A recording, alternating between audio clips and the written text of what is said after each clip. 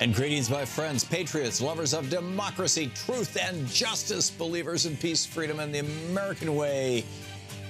Not so much the American way today in uh, in Indiana. This is this is tragic, frankly.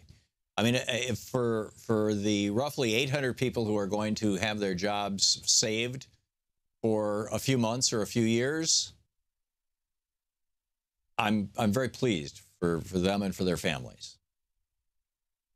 But they are being used as props by a con man who will soon be occupying the office of President of the United States and a con man who will soon be occupying the office of Vice President of the United States. And it looks like the con man who's going to be the Vice President has shoved enough money at United Technologies, the multi billion dollar defense contractor that owns Carrier, that, you know, they're going to save 800 jobs. They're, the media is rounding it up to 1,000. They're going to save 800 to 1,000 jobs, let's say, in Indiana. And Indiana, in exchange, is going to give Carrier, what, $100,000 a job? $200,000 a job? I mean, typically these kind of deals where states, in order to keep a, a, an employer in the state, they they lavishly give tax breaks or tax credits or you know other quote incentives to the company. In this case, it might even be a juicy defense contract that's worth billions. Um, typically, you know, to save a fifty thousand dollar job, they give the company, you know, two, three hundred thousand dollars, so the executives can skim some off the top, and so there's plenty that can be skimmed off the top and recycled back into campaign contributions for Mike Pence. And it looks like Mike Pence is using the state government of Indiana. He is, after all, the governor of Indiana. Looks like Mike Pence is using the state of Indiana to channel this thing. This is not what Donald Trump campaigned on. The corporate media is not telling you this. I, I am just horrified by the way that the corporate media is covering this thing. This is a perfect example of Trump University's scam style stuff. Trump campaigned on saying, Carrier, you take those jobs to Mexico. And if you want to ship those those uh, heating and air conditioning units back to the United States, we're going to hit you with a 35% tariff. Well, Carrier is still shipping the air conditioning units to Mexico. He's not saving all these jobs. The heating units are going to continue to be manufactured in Indiana, but with huge subsidies, which have been as yet undisclosed from the state of Indiana and perhaps the federal government. So we have here, I mean, quite literally, what conservatives and libertarians decry as crony capitalism capitalism that is being propped up by the government. Instead of a rational trade policy, which is what Donald Trump campaigned on. This is a stunt. This is reality television. This is what you can expect for the next four years. Form instead of subs, uh, yeah, in form instead or style instead of substance. The appearance of form instead of substance. This is a lie. This is this is what we have. We all have to get used to now because we say, you know, those of you old enough to remember, this is exactly the kind of stuff that we saw during the eight years of Ronald Reagan. From his welfare queen to, I mean, he just went from thing to thing to thing where he would say, oh, here's a problem. Now we've solved this problem. It wasn't a problem to begin with. The solution was BS.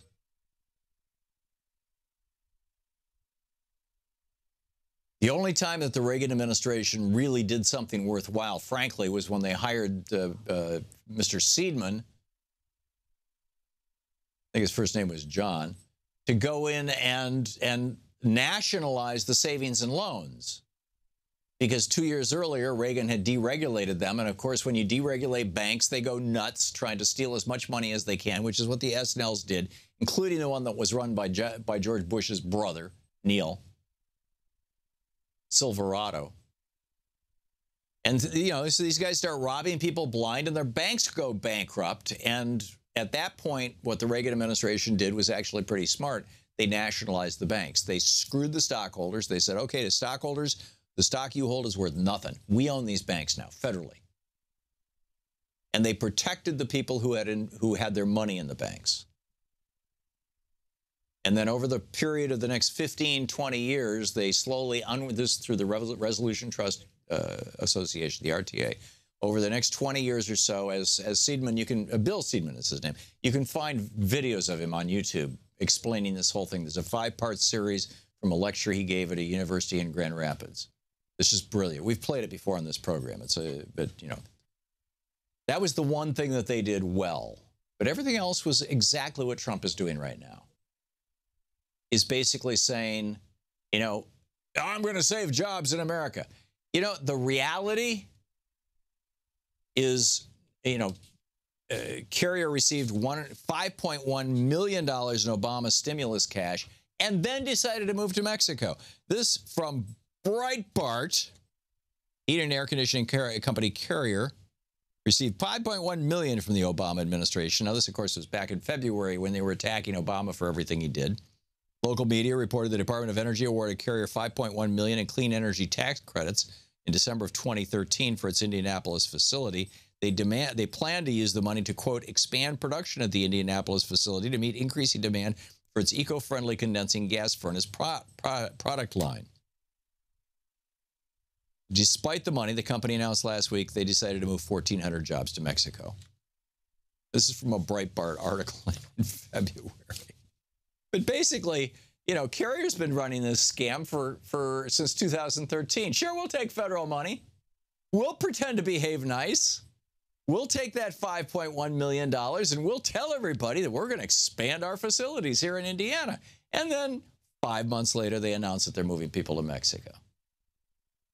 Because there's no structural change here, there is no real, and, and frankly, there's no structural change in part because Donald Trump has, does not have the power to create structural change. Although the Republicans still control the House and Senate, they could do this today. They could pass legislation. They could pass the same legislation that Nancy Pelosi passed out of the House of Representatives with both Democratic and Republican votes. There were very few Republican votes, but there, there were some. Back in 2000, either 9 or 10, I'm pretty sure it was early 2009, that said, we are eliminating all tax benefits, all tax deductibility for companies like Carrier that want to ship their factories overseas. You want to ship your factory overseas? It costs a lot of money to ship a factory overseas. Right now, you can deduct all those costs from your taxes. And Carrier's owned by United Technologies, which makes billions of dollars in profit a year because they're, uh, they're uh, you know, at least $6 billion of their money comes from the federal government as a defense contractor. They are a big time defense contractor. So shipping a factory overseas, it's all tax deductible. Nancy Pelosi got legislation passed that ended that tax deductibility.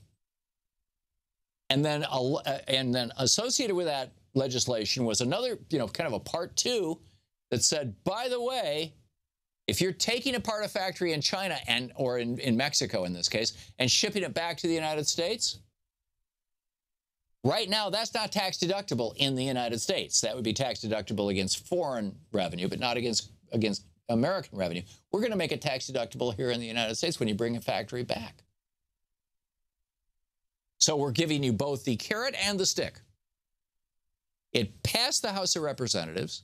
It got more than 50 votes in the Senate. It should have gone to President Obama for his signature, but it was filibustered by Republicans. It, it couldn't pass that 60 vote threshold.